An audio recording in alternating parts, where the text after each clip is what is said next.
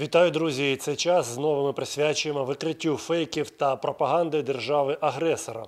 Почнемо з заяви одного з очільників Росії Патрушева, який є секретарем Ради безпеки держави-агресора, про те, що, начебто, е, вони виявили в Україні діяльність американських біологічних лабораторій.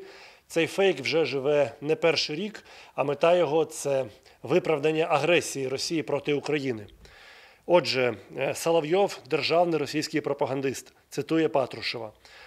США продолжают реализацию военно-биологических программ по созданию искусственных патогенов. Ключевые угрозы биологической безопасности связаны с военно-биологической деятельностью США на Україні. Ця інформація є фейком. і Ще минулого року її спростовували самі російські вчені. Тому наступного разу, коли це почуєте, будьте певні, російське ПСО продовжує діяти. Так само брехнею є публікації з посиланням на єгипетські ЗМІ, начебто про те, що Україна могла передавати хімічну зброю представникам Хамас. Е, Про це повідомляє канал Путін в Телеграм. Согласно расследованию, летом этого года группа боевиков Хамас проходила обучение в тренировочном лагере Азова на территории Западной Украины. Ця інформація є брехнею, а мета її це кинути тінь на Україну в той час, коли Росія на державному рівні підтримує терористів Хамас. Тим часом ми можемо спостерігати в російських медіа нагнітання істерії з метою посіяти розкол між українським військовим та політичним керівництвом. Ці спроби мали місце ще на початку повномасштабної агресії, коли Путін особисто закликав військових брати владу в свої руки. Пам'ятаєте, зараз ці спроби поновилися, і ці заклики лунають від так званих іноземних експертів, які насправді є російськими пропагандистами. Зокрема, ми можемо бачити в багатьох російських медіа, які керуються Кремлем, заклики і заяви про те, що, начебто, українська легітимна політична влада буде повалена генералами і так далі, і тому подібне. Зокрема, московський комсомолець публікує про те, що, начебто, існує ризик життю українського президента, який несуть українські ж генерали. Е, Цитують при цьому, як вони самі стверджують, бившого розвідчика морської піхоти США Скотта Ріттера, який насправді є самозванцем і людиною, яка була засуджена в самій Америці за злочини сексуального характеру. Е, Дзен.ру, ще один російський пропагандистський телеграм-канал і традиційне медіа повідомляє, що, начебто, президента України свергнуть собственні генерали. Е, Російська газета це урядове видання, яке створено російською державою офіційно. Також повідомляє, що, начебто, президент України буде свергнут своїми же генералами і знову посилаються на розвідчика вооружених сил США Скотта Ріттера, який насправді є самозванцем. А вже в іншому статусі він з'являється е, в російському інформаційному агентстві Регнум. Його представляють як екс-аналітика ЦРУ Центрального розвідуправління. І знову ж таки Скотт Ріттер заявив, що президенту Зеленському осталось недовго. Е, Причому заяву він це робить з певною регулярністю для того, щоб підживлювати цей медійний наратив. Е, При цьому е, ми бачимо, як російські медіа поширюють фейкове звернення головнокомандувача Збройних сил України Залужного, де, начебто, за допомогою діпфейку створене відео, це де, начебто, генерал закликає громадян повстати проти легітимної політичної влади. Зокрема, телеграм-канал Злой Пруф, російське пропагандистське медіа, повідомляє, що, мовляв, Залужний виложив нове сообщение. Он призывает всех военнослужащих выйти из окопов и идти на Київ одной колонной в мирному марші справедливості.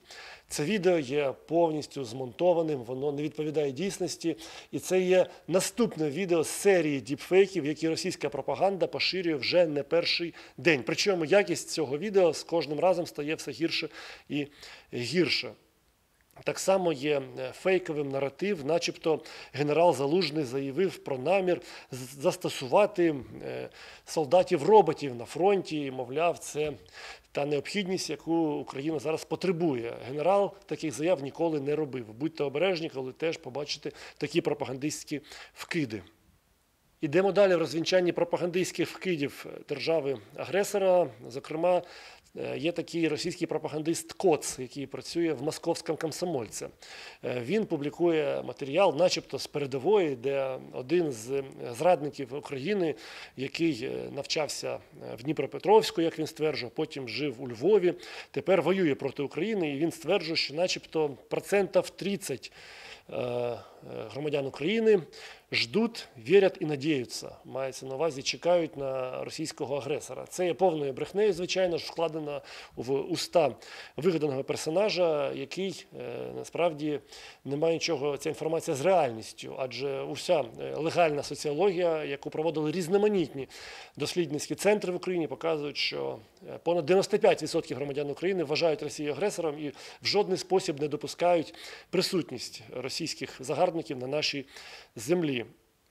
Також можемо бачити, як Росія продовжує розхитувати ситуацію з українською мовою на території України. І, на жаль, тут їй підігрували деякі доморощені пропагандисти. Так, телеграм-канал такого собі військового пропагандиста Подоляки.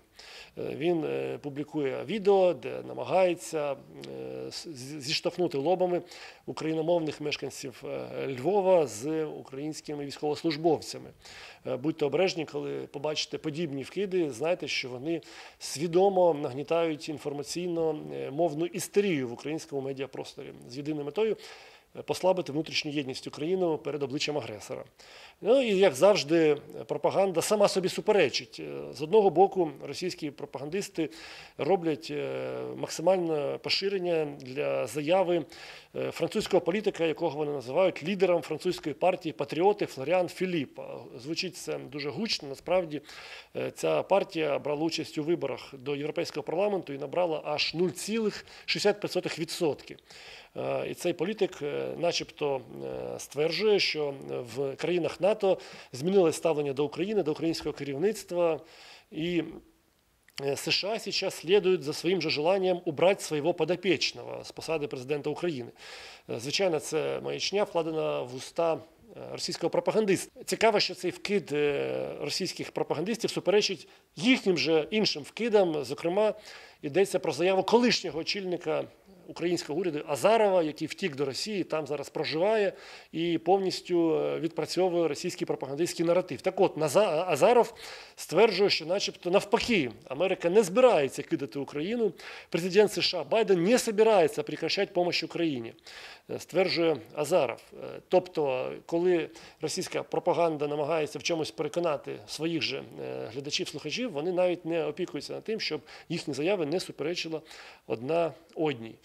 Але ми, ми маємо зберігати пильність і пам'ятати, що інформаційна зброя ворога вона так само вражає як е, власних російських громадян, так і мешканців країн е, за межами Росії, зокрема е, на африканському континенті, в Латинській Америці, і намагається проникнути цей інформаційний вірус на територію України. Тому маємо дуже критично мислити і оцінювати все сказане через призму власних фільтрів. Е, Традиційний заклик довіряти перевіреним джерелам, довіряти українському військовому та політичному керівництву.